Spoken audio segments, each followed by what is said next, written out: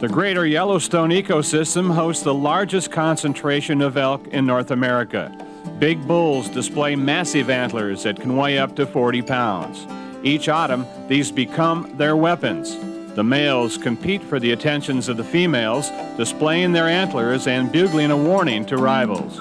Nowhere is this pageantry more dramatic than against the magnificent backdrop of Yellowstone. Well, the, the bugling, uh, in, to some extent, is a proclamation of their, their dominance, uh, their ter territoriality, uh, and proclaiming that this is, their, this is their group of cows. And in some cases, it may also constitute a challenge to other bulls uh, that may be approaching their group of cows. It's early morning, but the elk have been active since before dawn. Uh, the bulls are trying to round up and corral and keep together groups of cows. And for most bulls, most adult bulls, that could be anything from uh, uh, six or eight cows to maybe as many as 20 cows.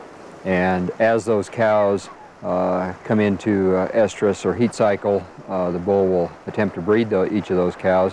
This will go on for sometimes 21 to 30 days of this type activity starting in early September and sometimes reaching into uh, early October.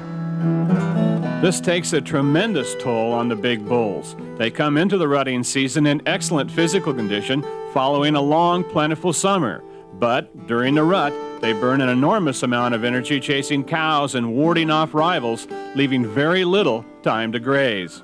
By the end of the breeding season in late October, the bulls have squandered much of their summer reserves and must concentrate on regaining that lost body condition before the first snowfall.